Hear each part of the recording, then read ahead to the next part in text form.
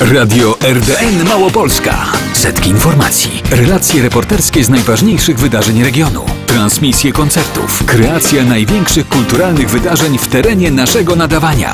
Region jest nasz. RDN Małopolska 103 i 6 FM. Przez całą dobę na czasie. RDN Małopolska yeah. Łukasz Pelc, witam. Poranne goście Radia Erden Małopolska, Bernard Karasiewicz, burmistrz Ryglic. Dzień dobry. Dzień dobry panu, dzień dobry państwu. Wczoraj w, Mało, w Małopolskim Zarządzie Melioracji i Urządzeń Wodnych odbyło się spotkanie odnośnie zbiornika w Joninach. Przypomnę, Zarząd Melioracji jest inwestorem tego zbiornika w Joninach i pytanie, no co dalej, panie burmistrzu? E, jest to pierwsze spotkanie moje po e, wyborach e, jesiennych. Ale to było tak, że ktoś pana zaprosił, pan dostał oficjalne pismo, czy pan, jak to Nie, się ja- mówi, sam za tym chodził? Ponieważ e, zbiornik w Joninach e, jest inwestycją, która się ciągnie No temat lat. rzeka, temat, rzeka Temat wiadomo. rzeka I e, wiem, w które miejsca trzeba chodzić, więc pierwsze kroki e, swoje e, skierowałem do głównego inwestora, czyli do zarządu No i co pan wychodził w tych Spotka- pierwszych krokach? Spotkałem się z dyrektorem e, do spraw inwestycji, któremu ten temat jest bardzo dobrze znany i omówiliśmy, jakie kroki zostały podjęte e, w, no, w kwestii, aby ten zbiornik wreszcie e, skończył się, e, miał e, takie szczęśliwe zakończenie finalne. Bo jesteśmy na etapie dzisiaj wydania decyzji mm, o warunkach e, środowiskowych. e, I, e, Ale jeżeli dobrze pamiętam, o kolejnej e, decyzji środowiskowej mówiło się już kilka miesięcy temu. Czy to oznacza, że to się wciąż wydaje, czyli procedura wciąż trwa, czy coś po drodze się wydarzyło innego? Decyzję środowiskową, którą wydałem jeszcze ja w 2000 e, bodajże 8 roku, o, była decyzją środowiskową, która była wydawana na pewien czas. I w okresie ostatnich czterech lat ta decyzja e, została, e, czas jej jakby minął, więc decyzji, minął czas ważności e, decyzji środowiskowej. Z różnych względów, nie chcę się tutaj na ten temat wypowiadać. Organem wydającym e, był wtedy. Ale doskonale pamiętamy, jak sprawa wyglądała. Dwa razy były zabezpieczone pieniądze w budżecie województwa małopolskiego i nie udało się inwestycji rozpocząć. No, Dobrze mówię? bezwzględnie tak. E, I było to rozdanie finansowe, które, które było lepsze na tego rodzaju inwestycje niż te, które przewidujemy w roku 2014-2020. W związku z tym nawet przy zgromadzeniu wszelkich możliwych pozwoleń i dokumentacji o te pieniądze będzie trudniej. E, Niemniej jednak wczoraj z dyrektorem ustaliliśmy, że złożono inwentaryzację e, przyrodniczą e, w regionalnej mm, w Ordosiu, e, w Tarnowie, w Krakowie, Regionalnej Dyrekcji Ochrony Środowiska i czekamy na decyzję z tamtej strony. Ale na czym polega inwentaryzacja przyrodnicza? Inwentaryzacja- I kolejne pytanie, bo jeszcze y, dopytam.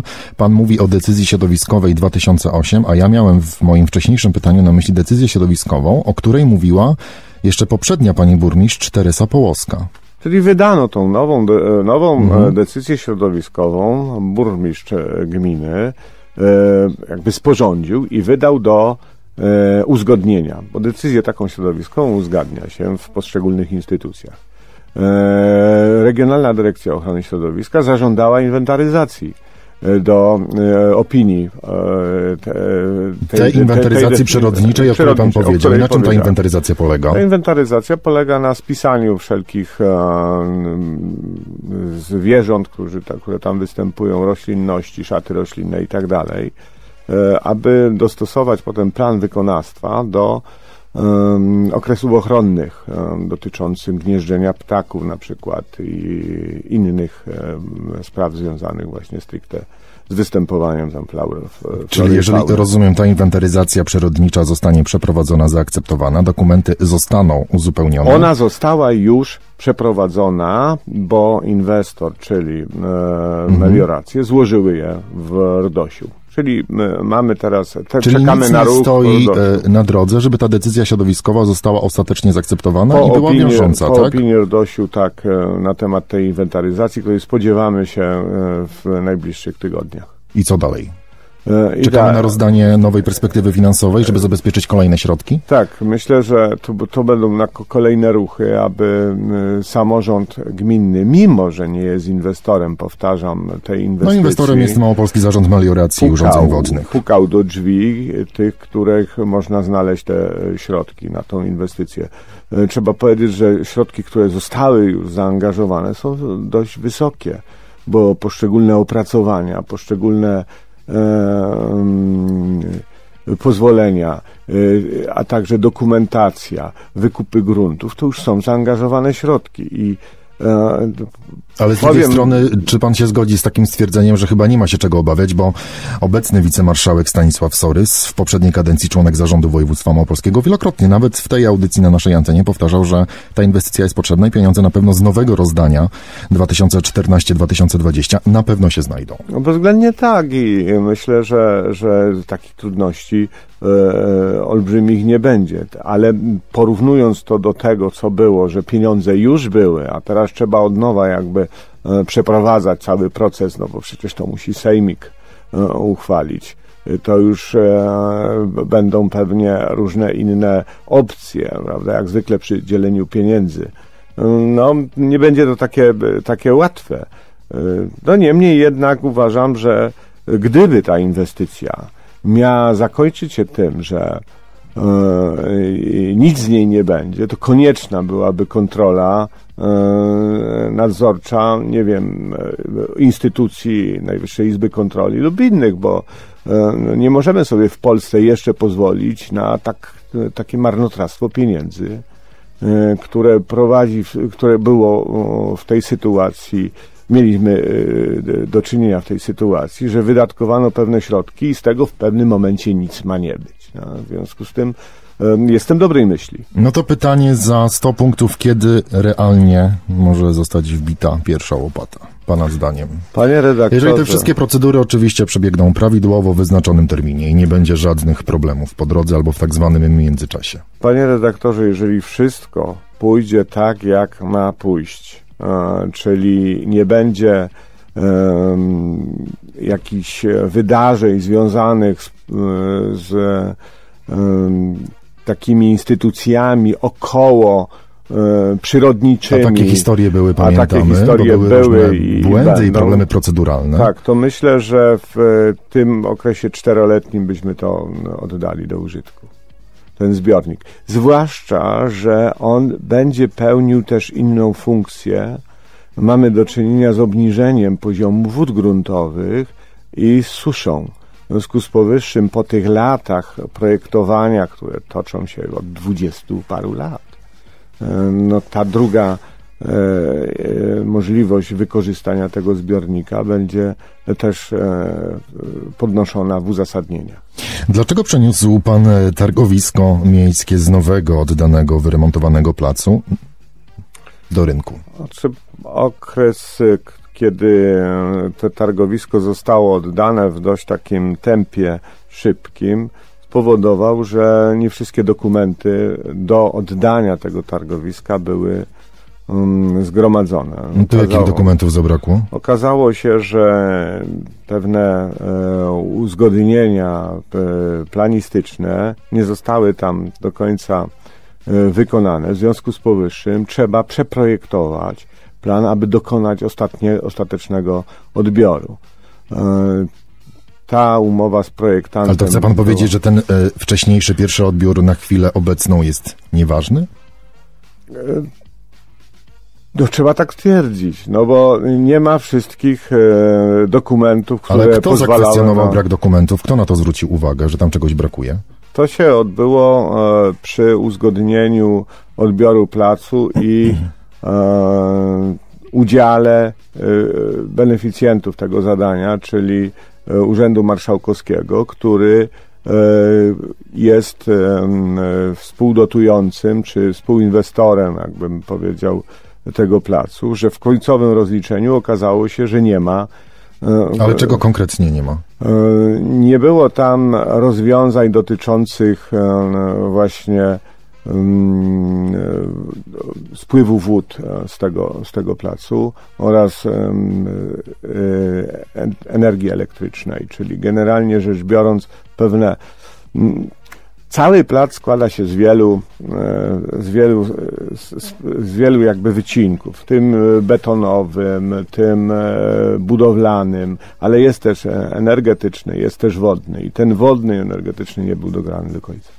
Czy to oznacza, że gmina teraz e, musi ponieść jakieś Musimy, dodatkowe koszty? Tak, e, tu została podpisana umowa na przeprojektowanie do uzgodnienia i myślę, że ona zostanie, e, zostanie w jak najszybszym czasie wykonana, czyli to przeprojektowanie zostanie wykonane. E, i plac będzie placem Jakie to są koszty i pytanie, czy te koszty będą refundowane przez Zarząd Województwa Małopolskiego, Nie czy one będą. pójdą z gminy, są to koszty, z kasy gminy? Są to koszty gminy rzędu 20 tysięcy złotych. A kiedy handlowcy, y, kupcy będą mogli wrócić na, na plac? E, ja myślę, że w przeciągu, że e, w przeciągu tych, tego pierwszego kwartału uporamy się z tym problemem i już na Wielkanoc będzie można handlować na tym placu. Stowarzyszenie Razem dla Jonin poprowadzi szkołę w tej miejscowości. Jest już po wstępnych pierwszych rozmowach, ale i po rejestracji stowarzyszenia. Rozumiem, że mm, przekształcenie szkoły jest szansą albo ratunkiem na to, żeby ta szkoła nie została całkowicie zamknięta, bo takie zagrożenie kiedyś wisiało. Bezwzględnie tak. E, wszystkie, jestem przeciwnikiem likwidacji szkół przede wszystkim. Zwłaszcza, że przez lata byłem e, zwolennikiem rozbudowy, budowy i modernizacji tych szkół. E, mamy do czynienia ze szkołą, która ma 50 e, dzieci i szkoła jest niewydolna finansowo. Rozmowy ze społecznością. Czyli dla samorządu szkoła jest niewydolna finansowo, a prywatne stowarzyszenie będzie no, w stanie. powiedzmy sobie szczerze. Zarobić, utrzymać się. Tak, się dzieje, że karta nauczyciela jakby hamuje tutaj możliwości e, Czyli normalnego. jak w wielu innych samorządach. Jak, jak wielu innych. Nie jesteśmy pierwsi i nie pewnie... Ale czy szkoła w Joninach to jest jedyna szkoła, która zostanie przekształcona, czy taki los czeka jeszcze inne szkoły na terenie Jeszcze myślę o szkole w Woli Lubeckiej i na razie finansuje się, bilansuje się szkoła w Kowalowej. Zobacz, będziemy się przyglądać temu. E, Ale szkoła Woli szkołom. Lubeckiej razem e, z halą, która za niedługo zostanie oddana? Tak, myślę, że mm, zrobienie w szkole w Woli Lubeckiej klas integracyjnych pozwoli, aby ta szkoła była rzeczywiście szkołą e, na pewnym poziomie, a także zabezpieczyłaby e, możliwość uczenia się do dzieci niepełnosprawnych z terenu gminy i nie tylko. No bo to byłby Przypom- pierwszy oddział integracyjny tak, na terenie tak, gminy. Przypominam, że my wozimy do Tarnowa e, dzieci do szkół z takimi oddziałami integracyjnymi do szkół specjalnych, gdzieś około 15 dzieci. W związku z powyższym e, uruchomienie takich klas integracyjnych spowoduje wzrost zatrudnienia i w tym... Czyli element... zamiast pieniądze na dowóz, te pieniądze mogłyby pójść na dwa etaty, tak? Ten dowóz i tak będzie, ale, ale subwencjonowanie oświaty dla osób niepełnosprawnych jest wyższe. W związku z powyższym stać nas będzie na to, aby znaleźć zatrudnienie dla nauczycieli z poszczególnych szkół, które będą przekształcane. Myślę, że tutaj przede wszystkim będę zwracał uwagę na ochronę ludzi, etatów, miejsc pracy, a potem na ochronę budżetu gminy. Przede wszystkim nie może dziecko kosztować w jednej szkole 8 tysięcy, a w drugiej 16.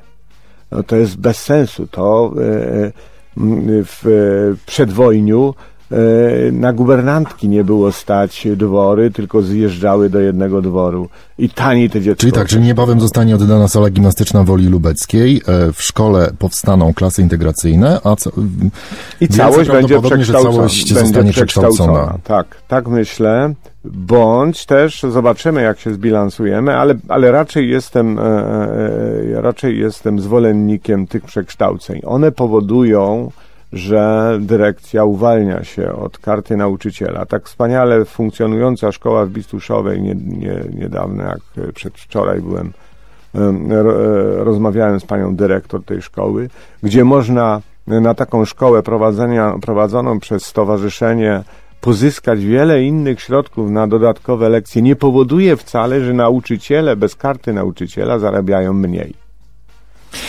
I panie burmistrzu, pytanie na koniec, nie z pana samorządowej działki, tylko z działki, z pana poprzedniej działki, czyli MORT. Pana zdaniem, kto powinien zostać nowym dyrektorem Małopolskiego Ośrodka Ruchu Drogowego w Tarnowie? Zostało nam 30 sekund. Jest to decyzja y, zarządu. y, Mało- Oczywiście, że tak, ale kogo pan by rekomendował? Bo o to mi chodzi.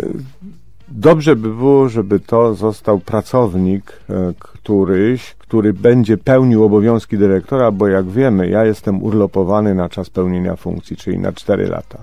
Czyli nie będzie konkursu, a powierzenie pełnienia obowiązku dyrektora Małopolskiego Ośrodka Ruchu Drogowego. Nikogo z imienia i nazwiska pan nie wskaże, rozumiem? Jest dużo tam e, wspaniałych e, i e, ludzi, którzy, którzy są do tego przygotowani. Burmistrz Ryglic Bernard Karasiewicz był moim i państwa gościem. Dziękuję za rozmowę. Dziękuję panu, dziękuję państwu, miłego dnia.